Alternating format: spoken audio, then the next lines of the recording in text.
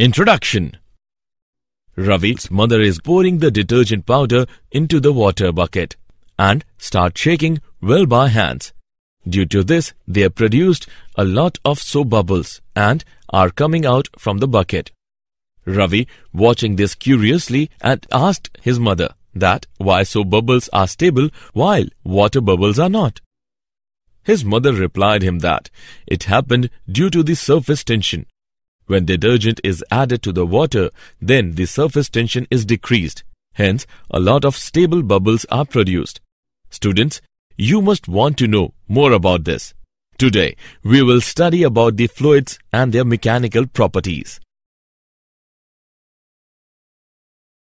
Objectives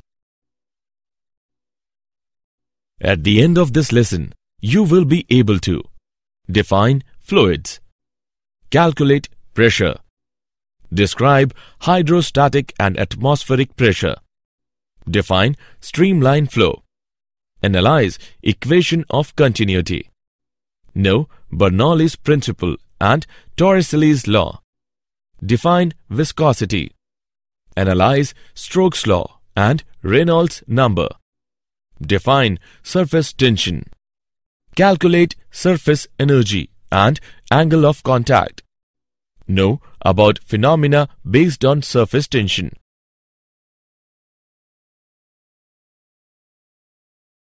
Definition A fluid is a substance that can flow. So, the term fluid includes both liquids and gases. Since fluids change their shape rapidly, therefore their mechanical behavior cannot be described in the same manner as in case of solids. There are marked differences between liquids and gases. For example, gases are easily compressed, whereas liquid are nearly incompressible. Liquid has definite size, but a gas expands to fill any closed vessel containing it. Hydrostatic and atmospheric pressure Hydrostatic pressure is defined as the pressure exerted by a liquid at rest. Consider a liquid of density D filled in a vessel up to a height h. Then pressure exerted by the liquid on the base is given by P is equal to HdG. The expression shows that the hydrostatic pressure depends on the vertical height of the liquid and density of the liquid. Atmospheric pressure the pressure exerted by the atmosphere is called atmospheric pressure. The device used to measure the atmospheric pressure is called barometer. 1 atmospheric pressure is equal to pressure exerted by 76 centimeter of mercury or 1 atom is equal to 1.013 into 10 raised to the power 5 Newton meter per square. If the atmosphere is assumed as air of uniform density, 1.3 kilogram meter per cube, then height of the atmosphere is equivalent to 7.95 kilometer. Streamline flow. A flow is said to be steady if the fluid velocity at a point does not change with time and the statement holds for all the points. A streamline is a line drawn such that at each point its direction is the direction of the fluid velocity at that point. In a steady flow, streamlines are stationary and they do not cut each other. If they cut each other, then we say that the flow is turbulent. Equation of continuity Rate of flow of a fluid through a cross-section A is given by V is equal to AV, where V is equal to velocity of the fluid and capital V is equal to volume of the fluid. If the pipe size varies, then flow velocity also varies. Now, rate of flow is given by V is equal to A1V1 is equal to A1V2. This equation is known as the equation of continuity. It shows that where the tube area is large, speed is low and where the tube area is small, speed is high.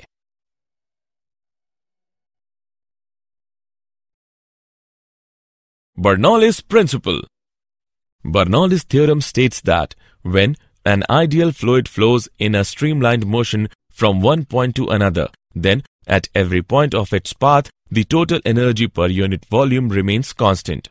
Let an ideal fluid element of mass m flowing in a pipe of varying cross section. The fluid in a section of length v1 delta t moves to the section of length v2 delta t in time delta t. The density of fluid is rho. Then according to Bernoulli's theorem, sum of kinetic energy, potential energy and pressure energy at point 1 is equal to sum of kinetic energy, potential energy and pressure energy at point 2.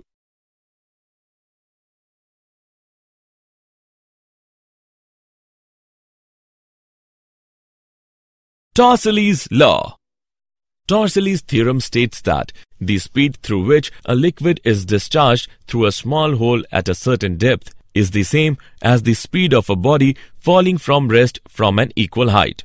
Speed of the liquid is given by V is equal to under root 2 gh, where h is equal to initial level of liquid, g is equal to gravity constant.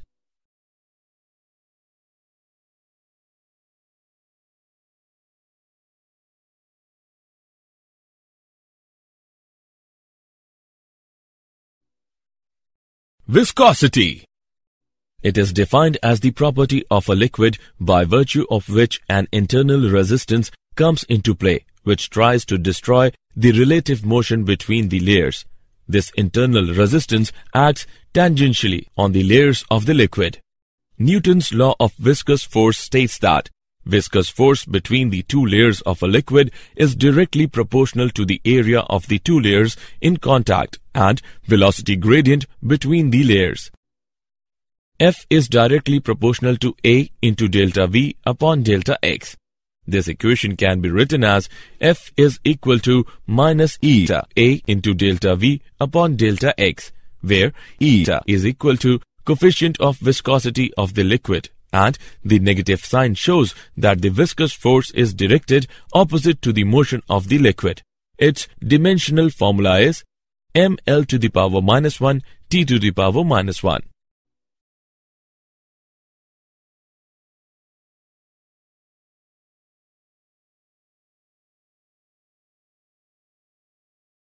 Stokes' law Stokes' law states that when a spherical body moves inside a viscous fluid, it experiences a force on it in the direction opposite to its motion due to the viscosity of the fluid. The opposing force is called viscous force. This force at a particular instant depends on the coefficient of viscosity of the medium, the radius of the spherical body, the velocity of the spherical body at that instant, Force is directly proportional to eta, radius and velocity. On summarizing all the above equations, we get the result. F is equal to 6 pi into eta into r into v.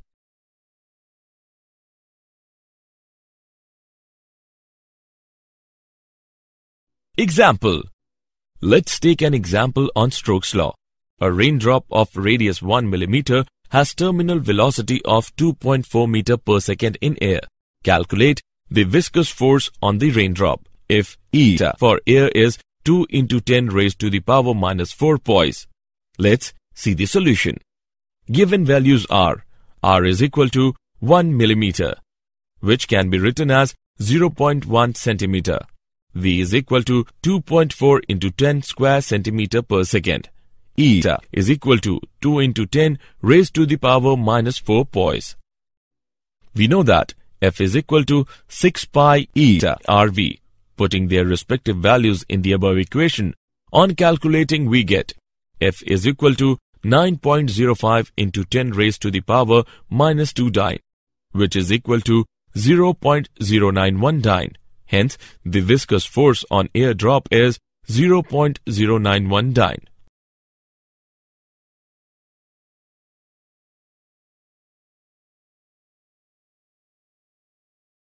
Reynolds number. Critical velocity is the maximum value of velocity up to which the flow of liquid remains streamlined. The value of critical velocity Vc for a liquid flowing in a tube is equal to K into eta upon rho into alpha. This relationship is known as Reynolds formula. Here, eta is equal to the coefficient of viscosity. Rho is equal to density of the liquid. Alpha is equal to radius of the tube. K is equal to Reynolds number. Reynolds number K is a dimensionless constant. From the above relation, it is observed that for a non-viscous liquid, the flow will always be turbulent. Viscosity is the property of fluid, which is responsible for orderliness and steady flow.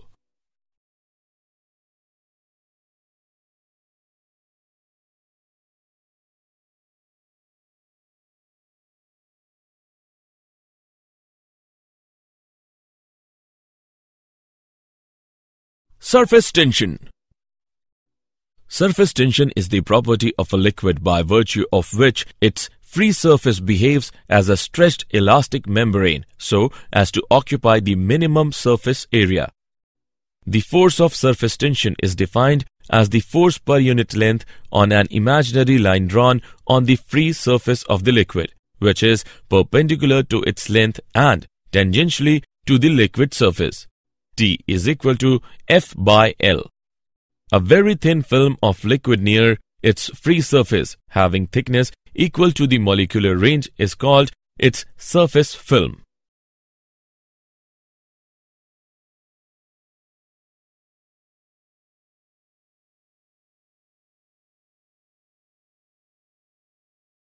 Surface energy and angle of contact. Surface energy is defined as the amount of work done in increasing the surface area of its surface film by unity. Surface energy is equal to work done divided by increase in area. Its SI unit is joule per meter square. Consider a surface film of surface tension T. F is the external force applied on the wire AB in the outward direction so as to increase the surface area of the film. Then the surface energy of the film is given by. We know that S is equal to W upon delta A. This gives the result of S is equal to T. This shows that the surface energy of a liquid is numerically equal to the surface tension of the liquid. The angle of contact between a solid surface and a liquid is defined as the angle made by the tangent drawn to the free surface of the liquid at the point of contact with the solid surface in contact with liquid. It is represented by theta and depends on cleanliness of the solid surface, nature of the solid surface and liquid, and medium above the free surface.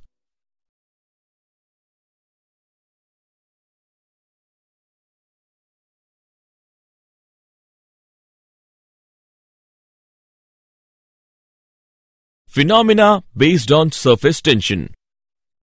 A needle can float on water. The end of a glass rod becomes rounded on heating. Small drops of mercury are spherical burr, large ones are flat. Spraying results in cooling. Camphor dances on water.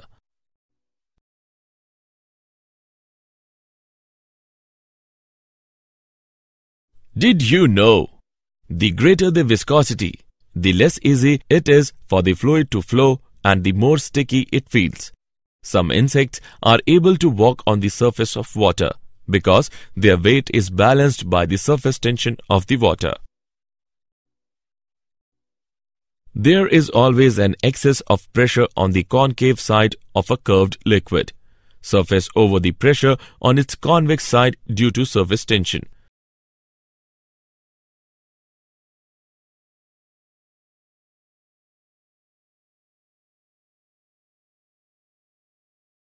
Summary Let us summarize what we have learned. Liquid has definite size, but a gas expands to fill any closed vessel containing it. Thrust exerted by a liquid is the force exerted by the liquid perpendicular to the surface of the liquid in contact. Pascal's law states that if some pressure is applied on an enclosed fluid, it gets equally transmitted in all directions. Hydrostatic pressure is the pressure exerted by a liquid at rest. A streamline is a line drawn such that at each point its direction is the direction of the fluid velocity at that point.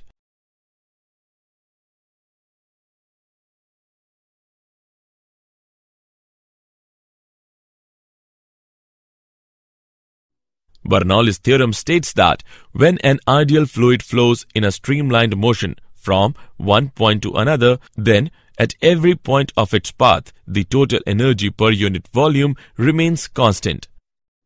Torricelli's theorem states that the speed through which a liquid is discharged through a small hole at a certain depth is same as the speed of body falling from rest from an unequal height. Surface tension is the property of a liquid by virtue of which its free surface behaves as a stretched elastic membrane so as to occupy the minimum surface area.